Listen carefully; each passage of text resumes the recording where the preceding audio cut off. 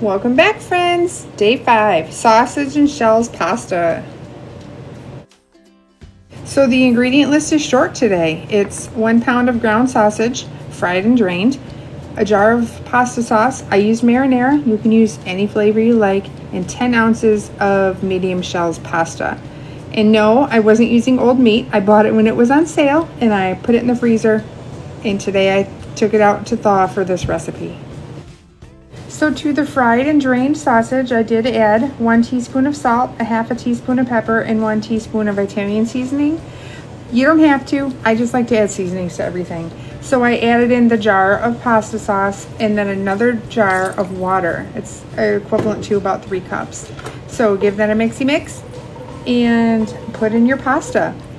I cooked it on high for just a few minutes until it came up to a boil and then I turned it down put the lid on and let it cook for 10 minutes.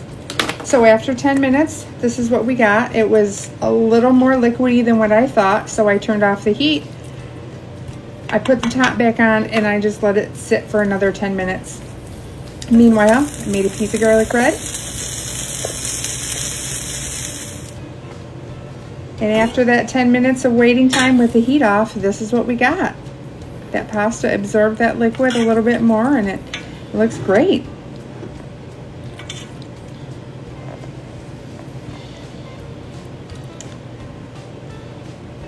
And not only does it look great, it tastes great.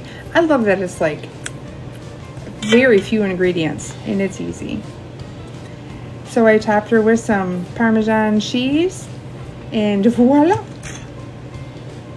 You have sausage and shells.